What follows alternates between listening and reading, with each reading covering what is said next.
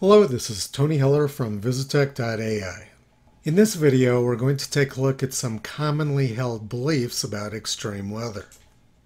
Later in this video, I'm going to be using my website app.visitech.ai to show how easy it is to generate statistics about extreme weather. There have been a number of deadly flash floods in the U.S. over the last week. Yesterday, there was one at Ruidoso, New Mexico. A lot of people are trying to blame it on government weather modification. Other people are trying to blame the floods in Ruidoso on the burning of fossil fuels. So let's take a look at what's actually going on at Ruidoso. Ruidoso is located near Sierra Blanca, New Mexico, a tall mountain with skiing. When it rains up here, water runs down this drainage right through the middle of Ruidoso. During June 2024, there were a couple of large fires between Sierra Blanca and Ruidoso. With the vegetation gone in these areas, rainfall now runs off of it like it would from a parking lot. Every July and August in New Mexico, monsoon moisture comes up from the south and causes heavy summer afternoon thunderstorms. Let's go back in time to July 1976 west of Loveland, Colorado. On July 31, 1976, 14 inches of rain fell overnight near Estes Park. This led to one of the deadliest flash floods in U.S. history on the Big Thompson River. But a few months later, Colorado was having a terrible drought. President Ford went to Vail to ski at Christmas, but there wasn't any snow. By March 1977, California Governor Brown said the state was facing a drought disaster. More than a third of the United States was in drought by April 1977. I was working as a geologist student intern at Los Alamos Labs during the summer of 1977. I stepped outside for lunch on June 16, 1977, and saw this huge fire which had just started up a few miles to the west. Over the next week, the fire burned up much of Bandelier National Monument.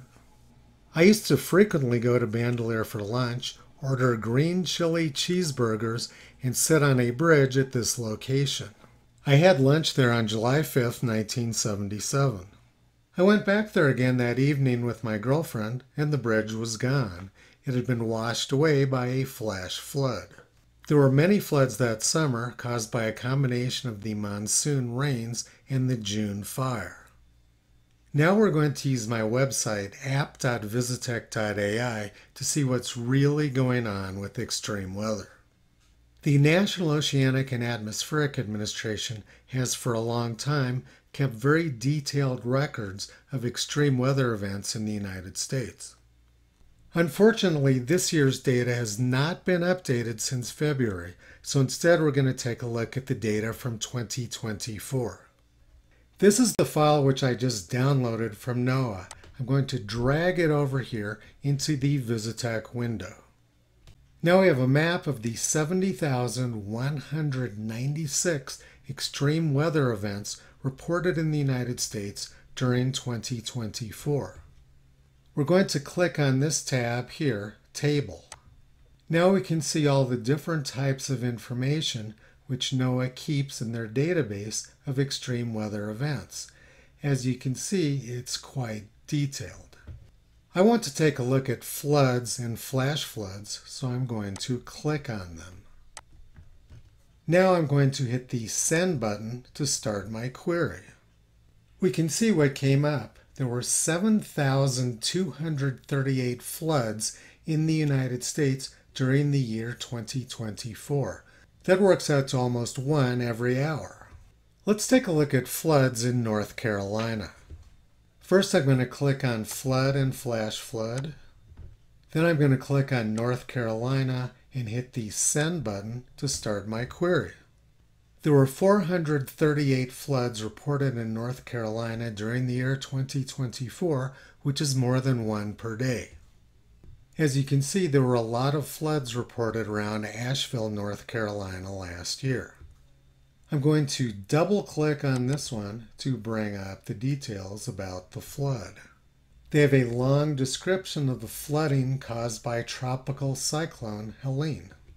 And we can use Google Street View to see the terrain where the flooding occurred.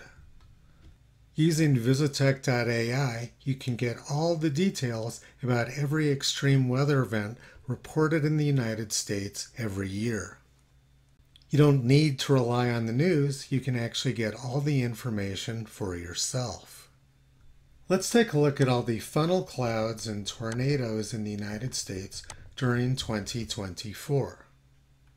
There were 2,422 tornadoes in the United States last year, and as you can see, the vast majority of them were east of the Rocky Mountains.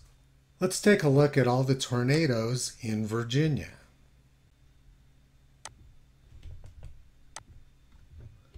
There were 14 tornadoes reported in Virginia last year. Let's take a look at this one.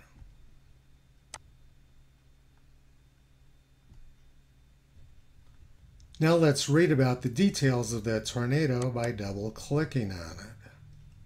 You can see that the tornado was spawned by Tropical Cyclone Debby. Now we're going to generate some statistics about extreme weather in the United States.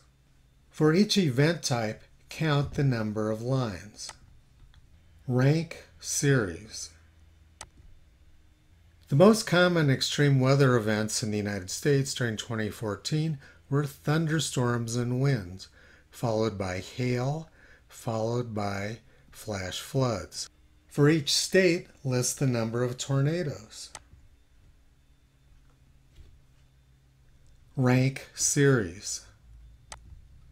During 2024, Oklahoma had the most tornadoes, followed by Illinois and Iowa.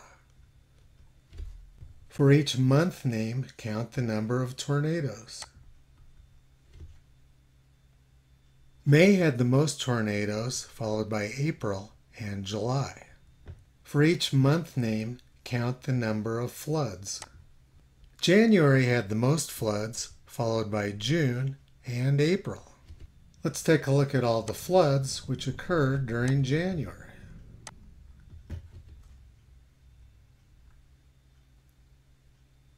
As you can see, most of the floods occurred along the west coast in the northeastern United States and along the Mississippi River.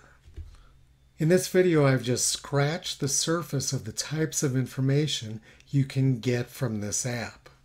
Using Visitech.ai, you can get all the details of every extreme weather event in the United States in just a matter of a few seconds. But I'm a history buff, so let's go back in time to this week 80 years ago.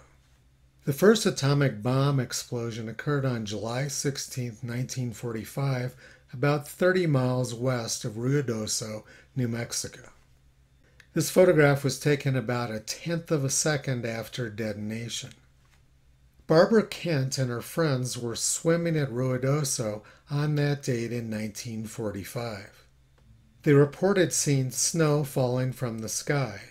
All of them got cancer, and 10 of the 12 died before they reached age 40. This is Robert Oppenheimer and General Groves at the test site after the explosion. Oppenheimer died of cancer 22 years later. John Wayne died of cancer after filming a movie near that location. Sometimes extreme weather is caused by humans, but the floods at Ruidoso this week were caused by natural phenomena. You don't need to rely on propaganda to learn about extreme weather. You can get all the details if you subscribe to app.visitech.ai.